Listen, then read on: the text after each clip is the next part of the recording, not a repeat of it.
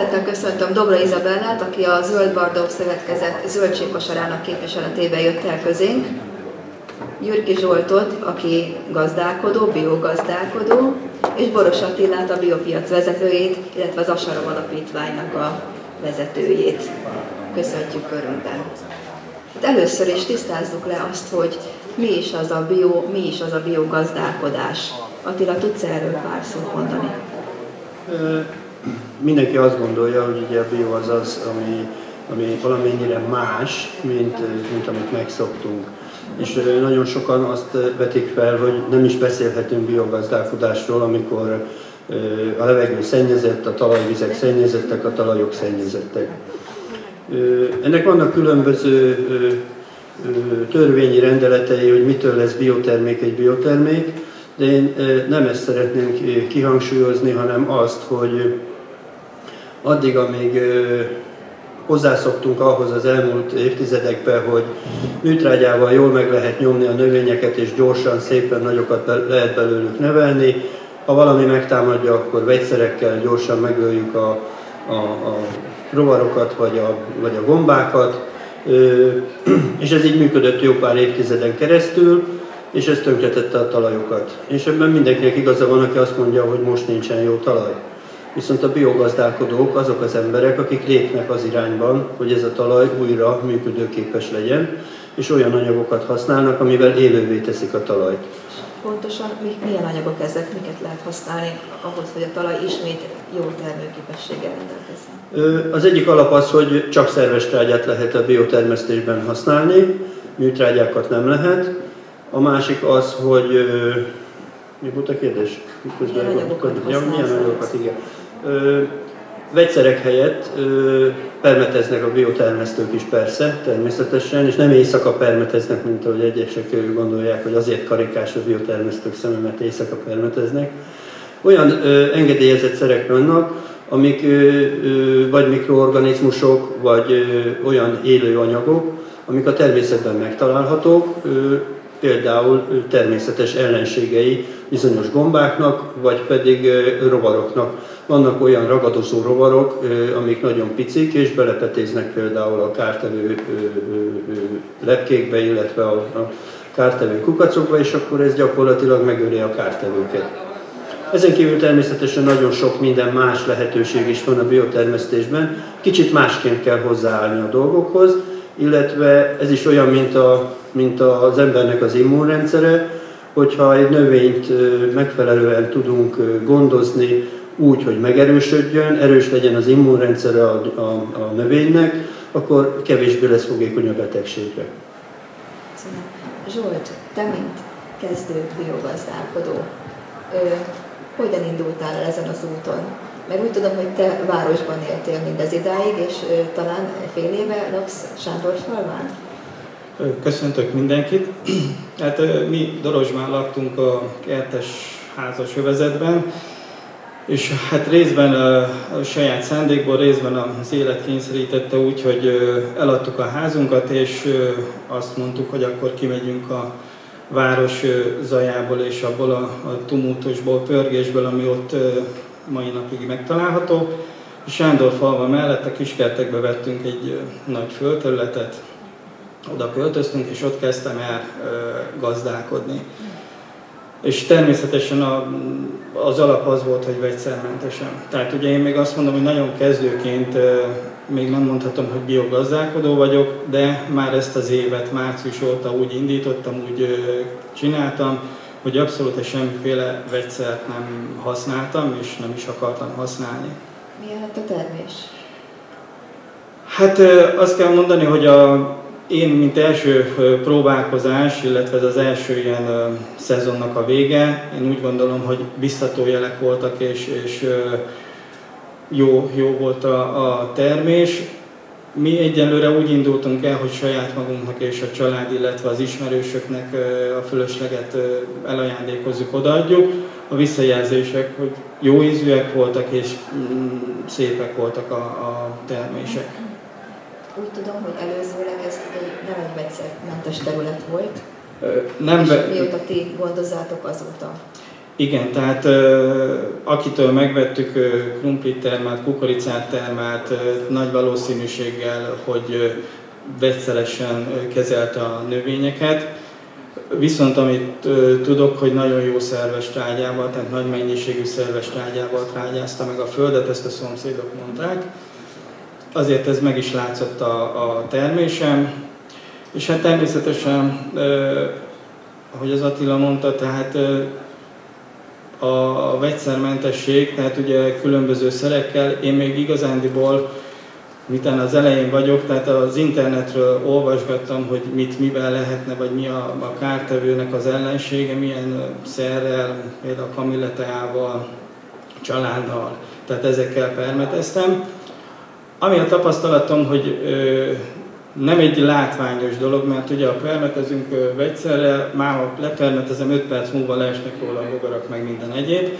Ez egy hosszadalmasabb folyamat, tehát el kellett ne, napoknak, heteknek telni, mire azt le, láttam, lehetett látni, hogy hoppá, például a paradicsomról szépen a tetvek összehúzódtak, feketék lettek és potyogtak le. Azt szeretném még kérdezni tőled, hogy milyen változást okozott ez az életedbe, hogy te gazdálkodóvá váltál?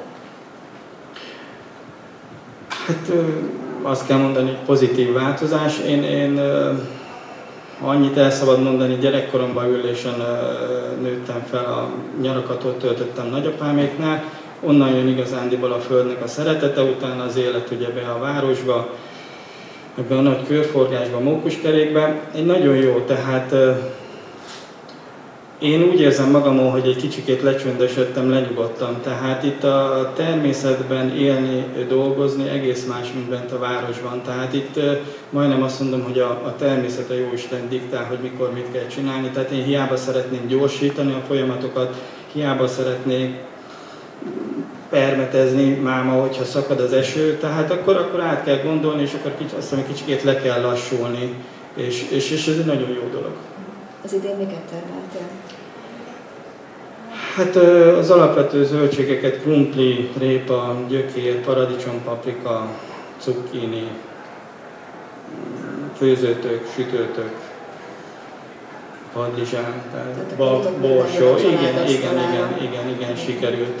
És azt kell mondani, hogy amióta beindult a, a termés, mert azóta nekünk nem kellett piacra menni, tehát meg tudtuk termelni magunknak a mindennapi betevőt. Mennyi munkával jár ez neked, illetve a család eh, számára mennyi munkát jelent ez pluszban mondjuk a hétköznapi életen felül? Hát nekem után inkább én művelem ezt az ágat, ugye a Timi meg inkább a programokat szervezi. Hát kitölti a napjaimat, tehát ugye én nem mint főállású gazdálkodó vagyok, tehát van természetesen még egy főállásom, amellett a délutánok, illetve a hétvégék azt lehet mondani, hogy mindig van munka, tehát mindig van mit csinálni. De én megmondom őszintén, élvezettel csinálom, mert kikapcsol és az ember lenyugszik tőle, tehát nekem ez egy nagyon jó dolog, és egy pozitív változást hozott az életemben. Most itt vagyunk az ősz kezdetén, úgymond, és köszönöm. És ez az időszak az, amikor meg lehet újítani a természetet, rá lehet készülni a következő évi gazdálkodásra. Attila, hogyan induljon el az, aki most elhatározásra jut, és úgy gondolja, hogy ő a jövő évtől szeretne gazdálkodni, de talán biogazdálkodni. Mit kell csinálni, hogy készítse elő a talajt és a környezetét? Hát ez attól függ, hogy milyen lehetőségei vannak az embernek, mert aki csak kiskerben gondolkodik, hát ő neki azt kell nézni, hogy igazából mit szeretne a következő éven ebbe a kertből kihozni, és hát a szerves trágyát azt mindenképpen be kell szerezni, gyakorlatilag a tél, ahogy most következik, így igazából a kiskerteknél azt tudnám javasolni, hogy hagyni kellene, hogy a természet megtegye azt, amit neki meg kell tenni, és hagyjuk a, a, a kertet pihenni télen. Hát akkor ilyenkor érdemes trágyázni, tehát lehet már, lehet már, lehet már, lehet trágyászni, de nem muszáj ilyenkor kiszólni, mert többféle megoldás van. Lehet olyat, hogy a trágyát csak felülről rakja rá az ember, és takarást tesz rá, hogy se a nap ne süsse ki, se a víz ne oldja ki a trágyának a, a, a beltartalmát, illetve mindenki másképp csinálja. Tehát Lehet ez a takarás például? Ez a takarás, ez a biotermesztőnek egy kedvenc fogása, hogy zöld növényekkel, vagy szalmával, vagy, vagy, vagy fűnyesedékkel le kell takarni a talajt, és hogyha így teszünk, akkor egyrészt nem kell annyit öntözni, mert nem párolog el a talajnak a nedvessége, a másik pedig azért jó, mert ha ezzel a takarás alá tesszük a talaj tetejére a, a trágyát, akkor az éjszakai harmat, illetve az eső szépen lassan oldja csak ki, és ez folyamatosan a felső rétegben marad meg, ez a humusz réteg, illetve ezek a, a tápanyagok a felső rétegben maradnak meg, és hát a konyhakerti növények azok igazából a felső 20-30 cm-ben élnek. Tehát beszántani, vagy, vagy 40 cm mélyre beásni nem érdemes a, a, a trágyát, akkor szoktuk ö, ö, berakni a lótrágyát például a talajba, ha meleg, úgynevezett meleg talpat akarunk csinálni, tehát azt szeretnénk, hogy ez a lótrágya melegítse a talajt, és ebből hamarabb legyenek növények. Tehát jól mondom, lótrágyát mondtál, mert Igen. eddig ugye a köztudatban legalábbis én tudom, hogy a szarvasmarha trágya az, az igazi. Igen, igen, igen, igen. Hát ugye a testlélek szellemegysége ugye itt is számít, a lótrágya az egy tüzesebb, jobban szárítja a dolgokat, míg a, a tehén trágyát is ismerjük, hogy ez olyan plattya, olyan, olyan jó vizes, és emiatt nagyon jól lehet vele a, a, a talajt regenerálni. De nem olyan magas a hűtőértéke mondjuk, mint egy lótrágyának. Tehát ha valaki melegágyat akar csinálni, vagy korai hajtatást akar egy otthoni kis fóliasátorba, akkor lótrágyát kell neki beszerezni. Amiben természetesen lesznek lóbogarak is, és hát ezekre a lóbogarakra többféle megoldás van. Vannak urokvetőgombák például, meg vannak olyan élősködői a, a, a lóbogárnak, amit hogyha kijutatunk a földre, akkor elpusztulnak a lóbogarak. Hát ez nagyon csúnya dolog, hogy megöljük a lóbogarakat, de hát választhatunk, hogy vagy a krumpli marad meg, vagy a lóbogár. Tehát akkor ilyenkor ősszel semmi más teendőnk nincsen, csak megtrágyázni a talajt. Igazából igen, mert nem, nem érdemes felfordítani a talajt, mert ha felfordítom a talajt, akkor a felső réteg alulra kerül, ott elpusztul az élő, élő része a talajnak, ami felülre kerül, az meg igazából nem alkalmas arra, hogy növény benne teremjen. Persze más az, hogyha valakinek szántóföldje van, vagy nagyobb területe van, és őszi gabonát akar belevetni, vagy ha őszi fokhagymát akarunk eldogdosni, azt természetesen ilyenkor kell megtenni. Már egy, egy jelentős különbség a hagyományos gazdálkodástól elkerül a biogazdálkodás felé, hogy nem forgatjuk meg a talajt? Ö, igen, a biogazdálkodók leginkább csak lazítani szeretik a talajt, és, ö, és nem megforgatni. Ennek is vannak különböző eszközei, van ami kézi eszköz, van ami gépi eszköz, ö, ö, van aki lóval szeretné csinálni, van aki még a traktorba és a kiskerti kisgéppel gondolkodik.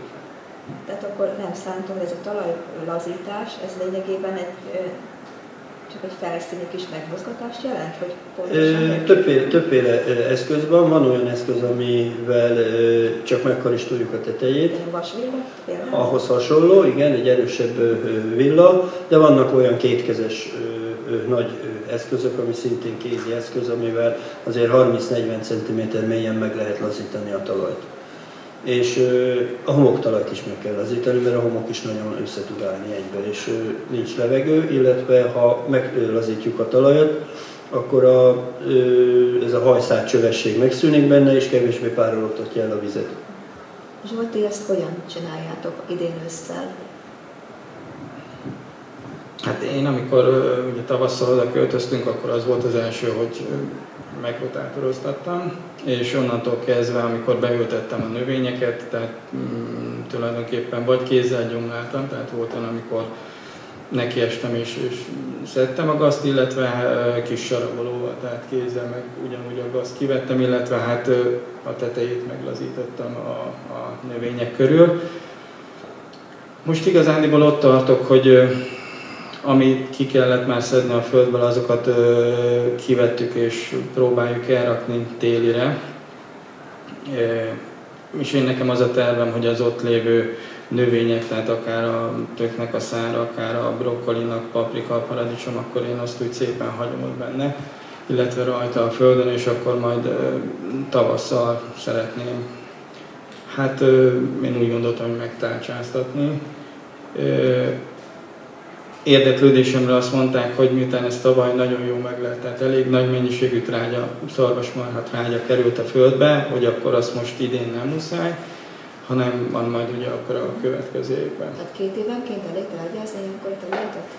Hát én ugye megkérdeztem a idézőbe jó értelembe véve az okosokat, akik már ugye ezt régebb óta művelik, azt mondták, hogy tehát nem muszáj. Tehát, hogyha ez most... ilyenkor tanulni, tehát kitől? Ott a helyi emberektől tudsz tanulni? Hát kérdezni? érdeklődök helyi emberektől, illetve van azért egy-két ismerősöm, akik már régebb óta gazdálkodnak, Igaz, hogy nem vegyszermentesen, de mondom bizonyos folyamatok azért azok hasonlóak, illetve hát az interneten. Tehát újam az internetet. I- igen, igen, igen.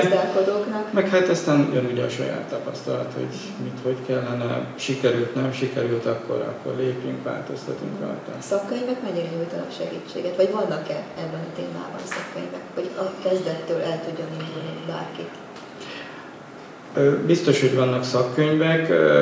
Azt hiszem, hogy a téli folyamat, a téli időszak lesz az, amikor majd talán jobban ráérek arra, hogy könyvesboltokban, szintén interneten utána nézzen az ember, hogy milyen lehetőségek vannak, és akkor ezeknek a begyűjtése és tanulmányozása. Hogy az, az biztos, hogy most ebben az első évben már, már tapasztaltam annyit, hogy mit hova kell ültetni, vagy hogy kellene ültetni. Most eljött az az idő, amikor már azt látom esetleg, hogy mennyiségben már, már hogy lehet ezen változtatni, tehát növelni ezt a mennyiséget, hogy mi, mire elég, mennyit kell vele foglalkozni, tehát már azért jönnek az első tapasztalatok, amit bízom benne, hogy a következő évben már fogom tudni alkalmazni. Mekkora területen? Hát maga a terület, amit megvettünk, az egy 7000 négyzetméteres kert, tulajdonképpen ebből, amit ténylegesen művelni lehet, én úgy gondolom egy olyan 5000 négyzetméter. És aki nem tud gazdálkodni, nincs lehetősége rá, Szegeden sorra alakulnak a lehetőségek arra, hogy zöldségkosár keretében jusson valaki friss, vegyszermentes, esetleg gyümölcsöt közt. Ezek közül az egyik ilyen lehetőség a Zöld Vardok Szövetkezetnek a zöldségkosara. Így Izabellát kérdezem most, hogy meséljen erről. Úgy tudom, hogy tavasszal indítottátok a zöldségkosarat. Mit lehet róla tudni, és milyen visszajelzések érkeztek a vásárlók részéről? Én is szeretettel köszöntök mindenkit, és köszönjük a lehetőséget. Valóban márciusban indult el a Waldorf közösségen belül ez a kezdeményezés, tehát először csak úgy volt, hogy az iskolában lévő szülők, tanárok, dolgozók között fog ez működni, és aztán egy hónap alatt kinőttük magunkat, már áprilisban szállítottunk Budapestre is, és Szegeden már van egy másik átadó központ is, és gyakorlatilag az alapelve az volt, mint a közösségi mezőgazdálkodásnál, hogy akinek nincs lehetősége városban él, de szeretne biovegyszermentes zöldségeket enni, mert tudjuk, hogy mennyire fontos, hogy a zöldséggyümölcs minősége is olyan legyen, tehát nem csak az számít, hogy együnk sok zöldséget és gyümölcsöt, hanem hogy az tényleg zöldség és gyümölcs legyen, ne valami fölfújt, agyonvegyszerezett akármi.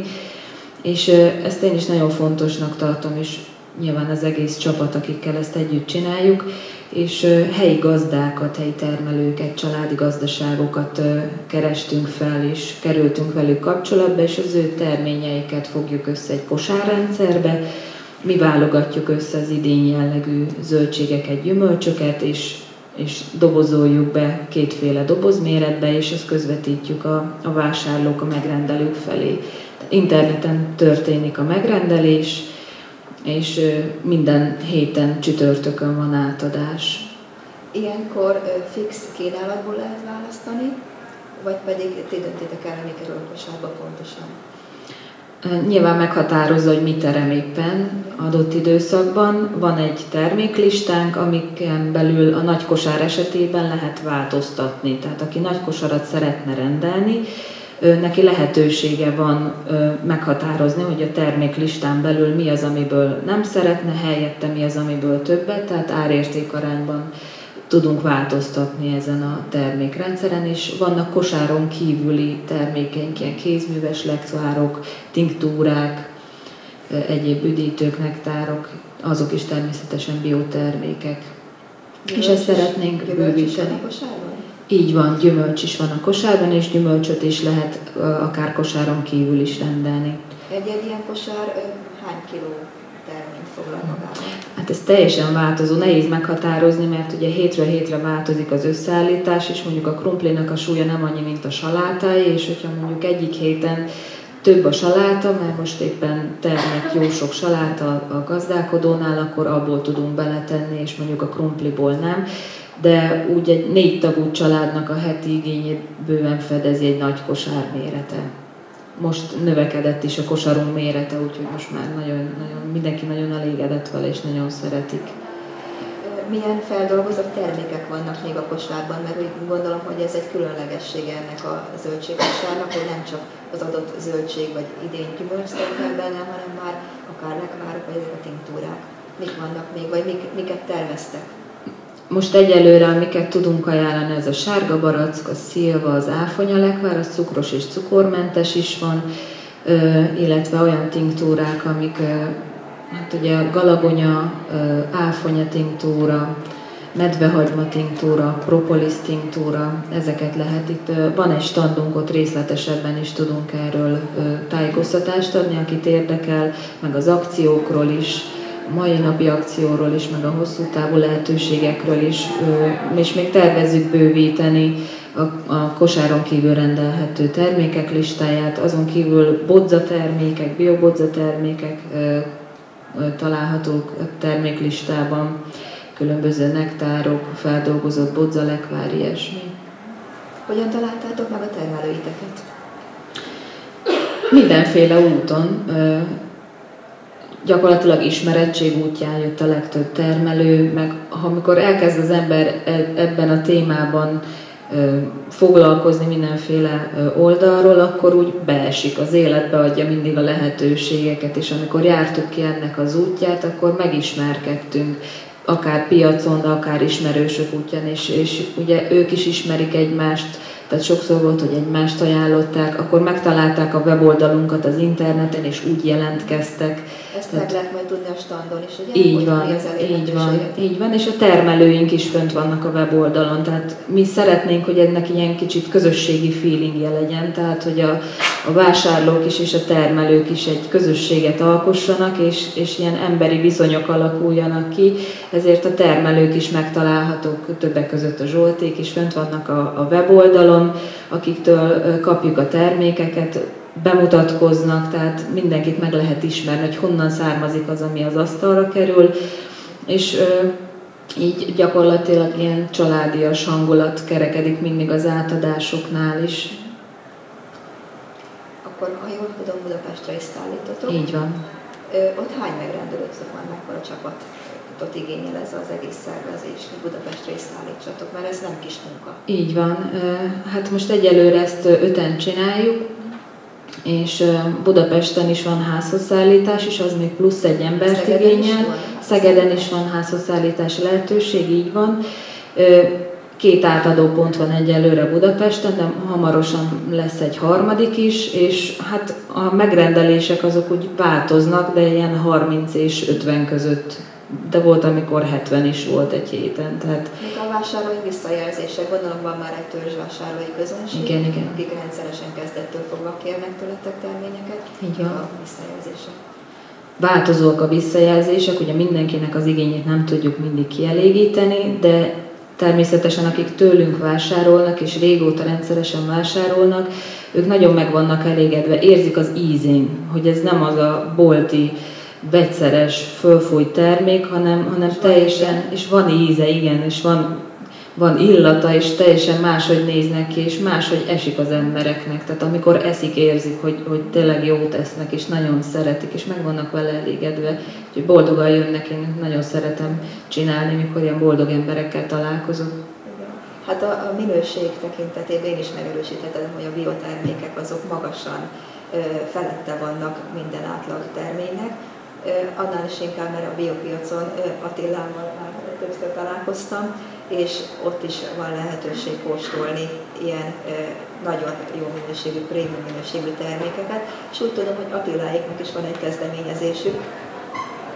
Erről beszélnének. Igen, a, amit Iza mondott, a, a közösség által támogatott mezőgazdaságnak több formája van. Az egyik ilyen formája az, amit úgy hívnak, hogy dobozrendszer, amikor van egy gazda, aki az egész termését leköti a tagoknak, és azt osztja el a tagok között. A másik, amit ti csináltok, ez egy ilyen szatyor közösség, vagy vásárlói közösség, ahol a vásárlók megkeresik, a vásárlóknak a szervezői megkeresik azt a pár gazdát, aki megbízható, jó minőségű terméket állít elő, és akkor ezt osztja el a tagok között. Mi egy harmadik formáját találtuk ki, a terem végében éppen ott áll a kertészünk, a harmadik forma pedig az, hogy a szövetkezetet, vagy egy ilyen szövetkezetszerű dolgot hozunk létre. Ennek Nyugat-Európában már vannak hagyományai, hogy akár 500 fős szövetkezet bérel vagy vásárol területet, és ott a saját kertészükkel dolgoztatnak, vagy dolgoznak, és ezt a terményt a tagok kapják meg. Illetve van olyan hely, ahol annyi többletet termelnek, hogy az, abból még jut a, a városi piacra is, és gyakorlatilag ennek a pénzét vissza lehet a szövetkezetbe forgatni.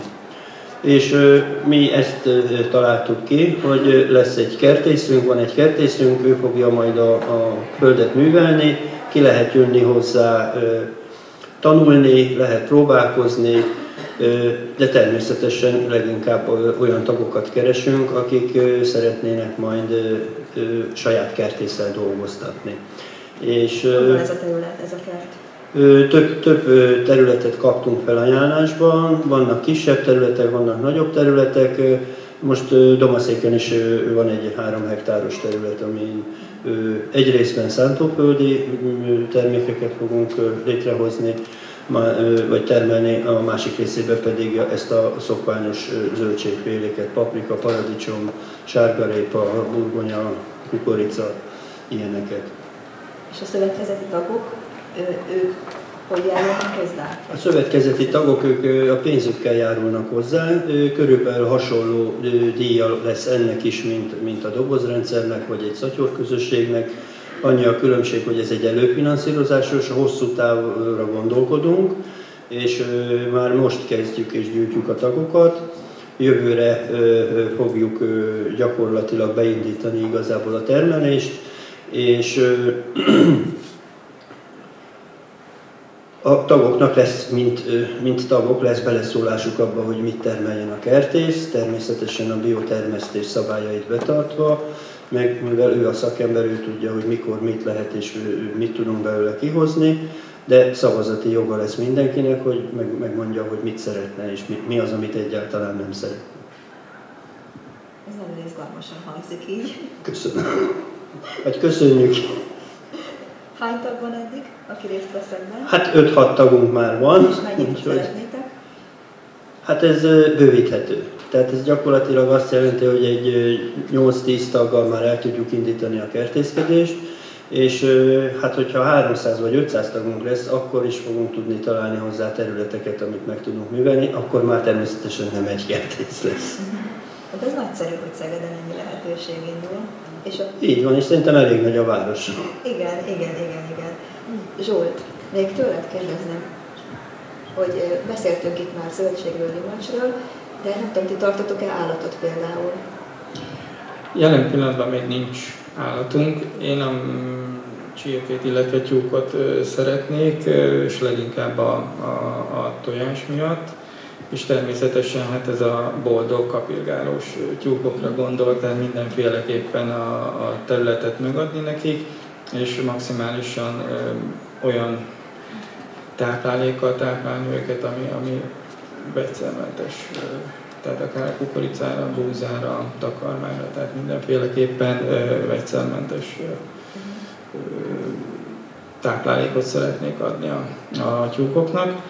Megmondom őszintén, jelen pillanatban nagyobb állatban nem gondolkoztam, mert én úgy gondolom, hogy ez egy nagy felelősség, és, és ahhoz egyelőre abszolút nem, hogy nekem, de még családom belül sincs tapasztalat, tehát egyelőre én, én maradnék itt, de majd meglátjuk, hogy az élet mit ad, illetve milyen lehetőségek kerülnek a, a, az utamba, úgymond, és akkor, akkor természetesen, ha egy ilyen lehetőség van, akkor, akkor ezt az ember kihasználja, de jelen pillanatban nem gondolkodunk benne. Köszönöm. Számomra nagyon nagy dolog, hogy így városiként belevágtál ebbe a, ebbe a feladatba, és szerintem igazi kihívás.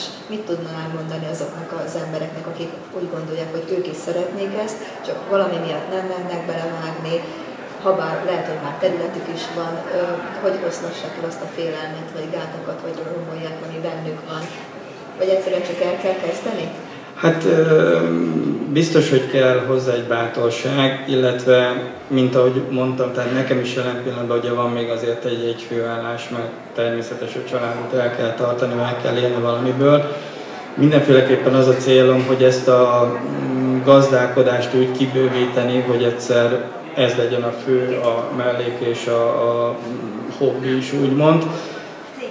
Legyünk, tehát én azt tudom mondani, hogy legyünk bátrak, tehát ne féljünk az újtól, ne féljünk a kihívásoktól, mert én úgy gondolom, hogy itt látva, hogy nagyon sok ilyen közösség alakul, illetve azért sok szakember van, aki már hasonlóképpen gondolkodik, és ugye itt nem csak arról van szó, hogy ők megtermelik, vagy összeszedik a jó minőségű termékeket, hanem nagyon szívesen segítenek is szakmailag is, tanácsadással is. Tehát én úgy gondolom, hogy van lehetőség arra, ha valaki ezt a formát szeretné választani, akkor, akkor el tud indulni. Tehát nem lesz magára hagyva, nem kell neki teljesen egy új utat kitörni, illetve kitaposni, hanem azért hál' Istennek vannak már olyan gazdálkodók, akik idézőjelben örüljünk nekik már, ők, ők tanultak esetleg a saját kárukon, és, és maximálisan átadják a tudásukat, a tapasztalatokat. szívesen megosztják a tudást? Igen, igen, tehát azt lehet mondani, hogy akikkel idáig beszélgettem, illetve nézem a fórumokat, fórumokat igen, tehát nem nincs az, hogy na hát én ezt nehéz pénzen, nehezen tanultam a saját bőrömön, akkor tanul meg te is, és nem mondok semmit, nem segítenek az emberek. Tehát ez azt kell, hogy tapasztaljam, hogy itt kint, én nekem Sándorfalva falu igaz, hogy város már, de itt, mikor tényleg az ember azt se tudja, hogy kicsoda, egyszer találkoztunk, de köszönnek, megállnak, beszélgetnek, tehát egy egészen más emberközelébb, élhetőbb közösség. És, és van segítség, tehát megkapja az ember, kérni kell. Köszönöm. Tehát akkor lezárhatjuk ezt a beszélgetést azzal, hogy a biogazdálkodás által közelebb kerülünk a természethez, de nem csak a természethez, hanem a természetes életmódunkhoz is, ami az emberi közösségeket jelenti, és az emberi kapcsolattartásnak egy magasabb minőségét adja meg. Ugye mindannyian egyetértünk. Aki még szeretne kérdezni, akár Izabellától, Zsoltól vagy Attilától, szerintem kint a standoknál megtalálja, és szívesen állnak bárki érdeklődő rendelkezésére. Szeretném. Még Attilát? És akinek van saját kertje, és szeretne esetleg foglalkozni vele, ez is olyan, mint a kérdés, hogy hogyan lehet egy elefántot megenni, hát kis kanállal. Tehát nem kell mindjárt abban gondolkodni, hogy van egy nagy kertünk, akkor azt mindjárt be kell trágyázni, mert vannak olyan növények, amik nem szeretik a trágyát, és van egy olyan találmány, hogy vetésforgó, és a növények például nem szeretik azt, hogyha ugyanaz a növény van több éven keresztül ugyanarra a helyre ültetve, és így gazdaságilag is, meg munkában is tudunk spórolni, hogyha nem az egész kertet akarjuk egyszerre bekapni. Köszönöm szépen!